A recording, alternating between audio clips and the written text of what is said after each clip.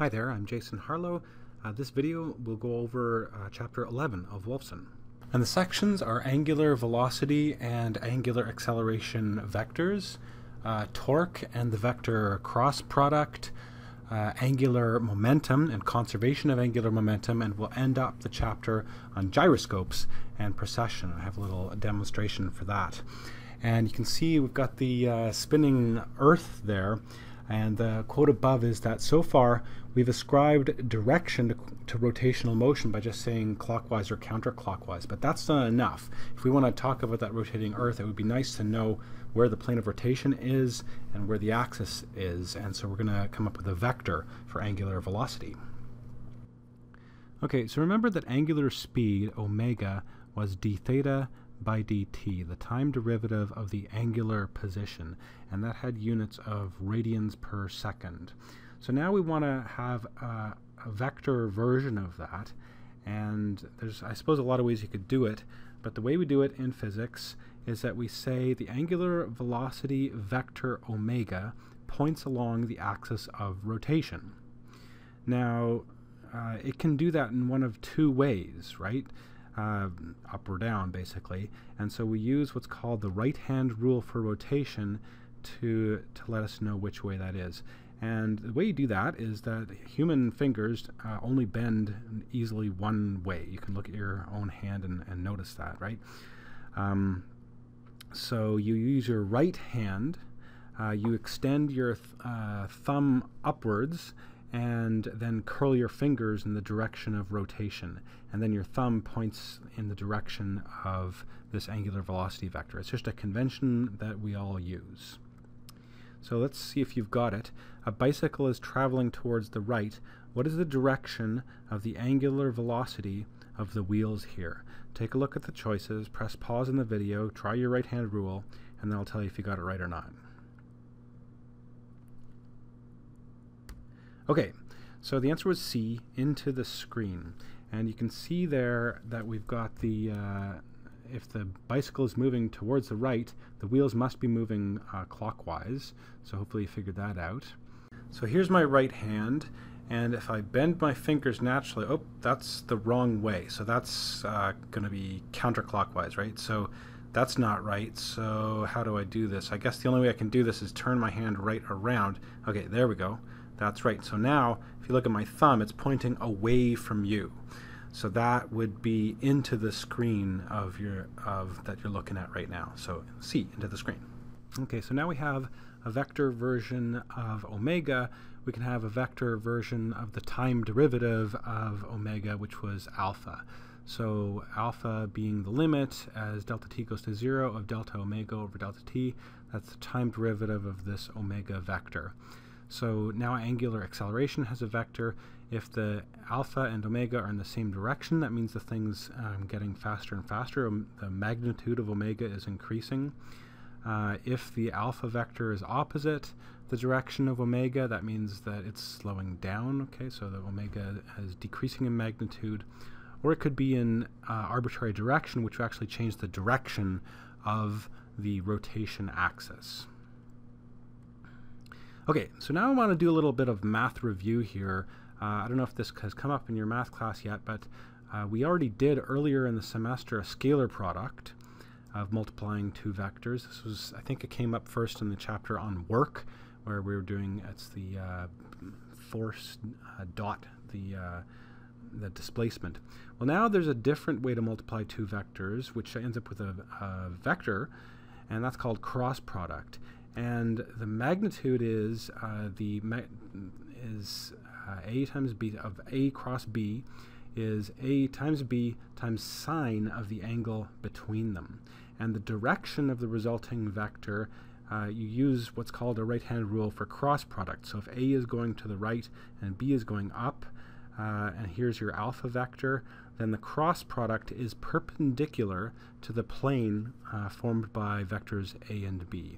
And then the length of this vector is proportional to this, uh, the sine of this angle. So if the two vectors are, are parallel, cross product is zero. And if the two vectors are perpendicular, then that's when the cross product is going to be maximum. So uh, this right-hand rule for cross products comes in many forms. Uh, you can try them all to see which works best for you. Uh, here's one where you point with your index finger along B, your thumb along A. Uh, a cross B is where your, yeah, I guess your middle finger sticks up.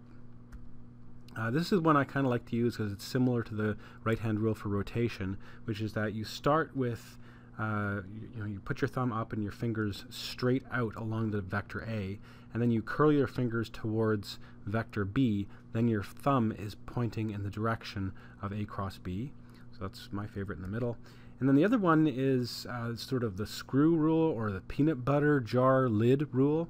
So if you start your, I guess, peanut butter jar lid in the direction of A, and then you rotate it in the direction of B, then because of the way it's screwing, it'll go in the direction of A cross B. So, uh, you know, righty tighty, lefty loosey kind of rule there. And what's interesting about cross product is that you when you reverse the order of uh, a a cross b, it's not equal to b cross a. In fact, it's equal to the negative of, of b cross a. So if you switch the order, you flip the direction of the cross product. Okay, so what's it useful for? Uh, cross product comes up in torque. So uh, we defined in, in chapter 10 that torque was r times f times sine theta. That's the cross product, actually. Uh, so you can have a vector version of torque, which is r, this uh, direction from the rotation axis to where you're applying the, the force, cross with that force, and that'll give you the torque. So, example, um, here is a nut on a wheel, and you have a wrench, you're applying a force on the wrench at the end of the handle straight downwards. And here is the radius vector going from that nut out to uh, where you're applying the force. So that's your F downwards. Uh, you're crossing that with this vector which is going up and to the right. So let's actually draw that right here. And then this is, I guess, this R vector. There's your theta. If you cross uh, down there, then you're going to have your torque vector coming up uh, out of the screen towards you. So out of the screen and uh, magnitude of r times f times the sine of that angle phi. Okay, let's see if you've got it. Um, so here is a sort of a perspective view of a force that is going into the screen, uh, a vector r which is going to the right, showing um, uh, the direction where the where the force is applied, or the location where the force is applied relative to the pivot point. Uh, so what's the torque of this force? Is it up and to the left, up and to the right, straight up, or straight down? Think about that, press pause, and that'll tell you the answer. Okay, so it's R cross F. R is to the right. Use your one of your right hand rules to cross it with F. You should have the resulting torque vector being straight up out of the plane. So it's it's uh, it's T3 or C. Okay, now we're on to section 11.3 on angular momentum, and I'm going to start with angular momentum of a particle of mass m. And uh, the particle has a momentum vector p, which is at an angle uh, beta relative to its position um, from the origin, which is r. Okay, so we define the particle's angular momentum to be r cross with the linear momentum p. So you can put all these together. There's the p going along the plus y-axis. r is on this diagonal. There's the angle beta. Uh, r cross with p will be up along the z-axis. So it's perpendicular to the plane of the motion. Uh, it's proportional p, proportional to r, and proportional to the, the angle between them. So actually, as a particle travels along with constant linear momentum as it passes the origin, the angular momentum of that particle will be constantly changing. So why do we use r, r cross p? Well, if you take the time derivative of this L vector, angular momentum, uh, and you use the definition of the torque vector, which is r cross f, you get that the time derivative of L is equal to the net torque. And that's exactly analogous to Newton's second law. Remember, the time derivative of the momentum uh, was equal to the net force. Well, now the time derivative of the, of the angular momentum is equal to the net torque. So if you have a rigid body now, something that's uh, rotating, then if the object is rotating on some fixed axle, like your bicycle wheel would, or it's rotating about a, a symmetry axis, then it can be shown that the angular momentum is just the moment of inertia of the object times omega. So, and that's nice that the omega vector that we used for, uh, the, you introduced at the very beginning of this uh, video, using that right-hand rule for rotation, is in the same direction as the angular momentum. And it's still the case here that as you apply a torque to it, a net torque to this object, it will give the time derivative of the angular momentum of that object. Next section, 11.4, is conservation of angular momentum. Uh, so we have that dl by dt is the net torque. If there is no net torques on an, on an object or any system, then the angular momentum vector is constant. So dl by dt is going to be b0. So let's see if you've got that. Uh, a figure skater pulls in her arms while rotating. What happens to her angular speed omega? Does it decrease, increase, or stay the same? Press pause. Think about that. I'll tell you my answer. Okay, so here's a funny little video getting faster and faster. okay, and we can see it again and again. It's obviously some sort of computer graphics, but it's still pretty funny. Uh, as she pulls her arms in, uh, omega definitely increases. So why is that? Well, as long as friction down here is pretty low, then there's going to be no uh, net external torques. And so this L, which is I, her moment of inertia times omega, will be constant. L1 equals L2. But what happens as she brings her arms in? Well, that's taking some of the mass that was far from the axis and bringing it in close to the axis. So I1 was large when her arms are out. I2, her moment of inertia, is decreasing. So to keep the product of I times omega the same, if omega starts out small, then it has to get bigger to compensate. Okay, so the last section here uh, in chapter 11 is called gyroscopes and precession. And I actually have a little gyroscope here, which is just like a, it's a top that can spin. Um, and then we have uh, what you can see here is the Eiffel Tower uh, with a little uh, thing on the top, and I can put it on there.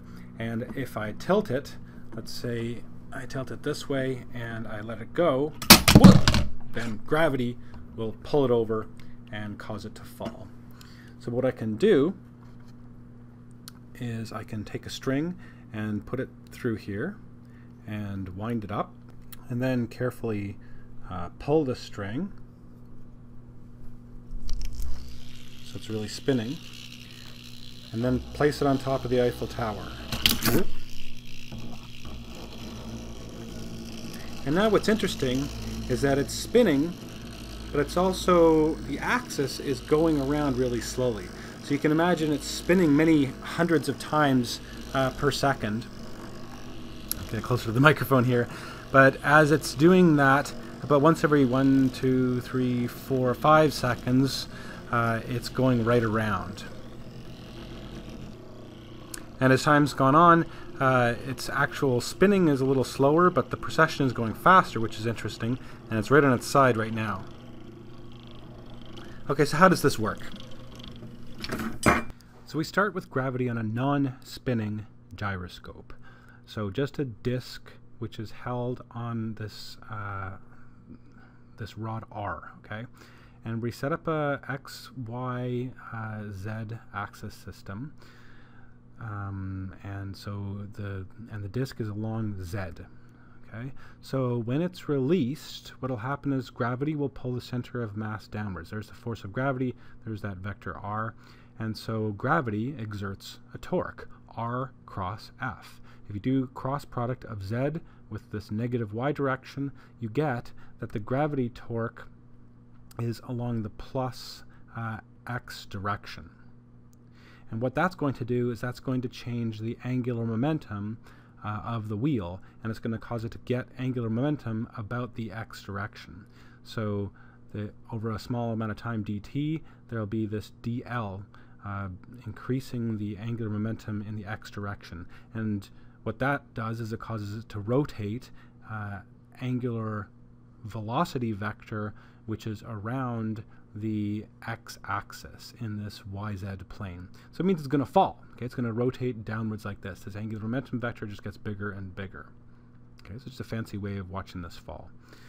But if there's a spinning gyroscope, then what's different here is that it starts off, if it's spinning, let's say, uh, counterclockwise here, it starts off with a large angular momentum vector that's along the z direction.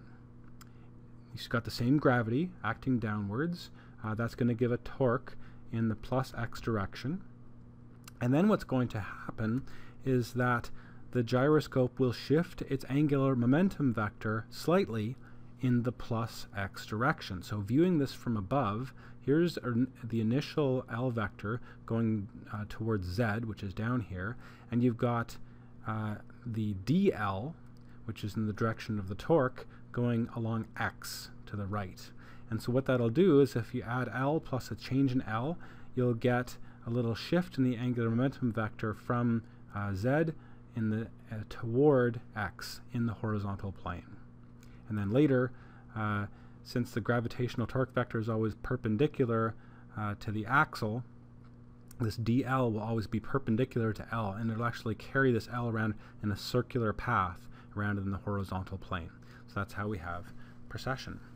And if you work, want to work out the precession frequency, uh, it's actually a problem from Wolfson, uh, problem 11.61. Consider a rapidly spinning gyroscope of mass m whose axis is precessing uniformly in a horizontal circle of radius r. So r is the distance from the center of the circle out to the, out to the center of mass of the gyroscope.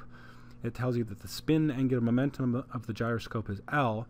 What's the angular speed of precession uh, which is, I guess, the angular frequency of precession about the vertical axis. So we can draw the spinning omega there, and r, the distance from this uh, pivot. There's the x-axis that's uh, going to precess towards the x-axis. There's z, and y is up. So there's uh, gravity acting downwards, mg. The torque due to gravity is going to be r cross f, so that'll actually be rmg in the plus x direction as we figured out in the previous slide. So, and our, if we look, I guess, from above, from the plus uh, y, plus z is down, there's your angular momentum vector. Your little dl will be in the plus x direction. So how much will that change L? It'll change it by d theta, let's call it. So if L is large, that means this dl is much smaller. So we can use this small angle approximation, d theta is equal to dl divided by L. So now we use Newton's second law for rotation, which is that dl by dt equals tau. Uh, now that was equal to rmg. So dl is going to be equal to rmg times dt. Okay, and now plugging that in to our small angle approximation above, we can get d theta is this dl divided by So then, dividing by dt again, you get d theta by dt. We're going to call that this uh, precession, uh, angular speed of precession, which is what we're trying to find here, is just r times m times g divided by L. So that can be called the angular speed of precession. I also call it the angular, or sorry, the angular frequency in radians per second of this precession as it goes around capital omega. Okay, so recall that this L is equal to I times omega, and that's lowercase omega because we're talking about the spin angular momentum. Uh, if we go back to capital omega, that's the uh, precession frequency, that's now equal to r times m times g divided by i times lowercase omega, the spin uh, frequency. So what that means is that the spin frequency goes up, it means the precession frequency goes down since the lowercase omega is on the bottom there. And that's exactly what we saw in the demonstration. I guess friction was causing this uh, spin frequency to slowly be decreasing over time. And then as we were seeing it precess, uh, it was precessing faster and faster as it was spinning down. And so that is it for chapter 11, and I'll see you in class.